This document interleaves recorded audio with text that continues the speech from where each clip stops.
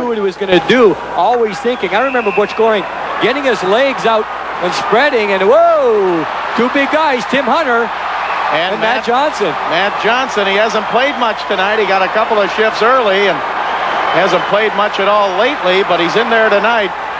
And Matt Johnson and Tim Hunter. So far, a lot of spinning around as each player trying to get the hand free. Now Johnson's knocked the helmet off of Hunter, but Hunter throwing some right hands. And now Johnson with a roundhouse right, but he missed and falls down to the ice.